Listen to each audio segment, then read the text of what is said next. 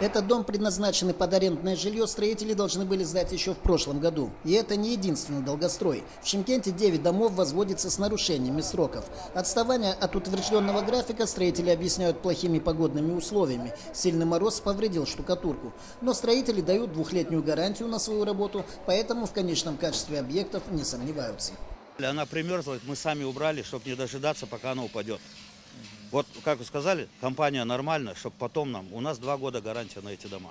В Шимкенте в рамках жилищной программы остались неосвоенными 74 миллиона тенге. Теперь же к тем, кто не будет укладываться в сроки, городской отдел строительства будет применять административные санкции. Ответственность помимо строителей за срыв сроков сдачи объектов несут и специалисты технического контроля, говорят сотрудники управления капитального строительства. Специалисты технического надзора должны с первого дня вести контроль, как ведется строительство, какое качество работы и в какие сроки сдается объект. Все это в компетенции технадзора. Сотрудники этого органа заполняют форму 2, и поэтому за срыв сроков также должны отвечать.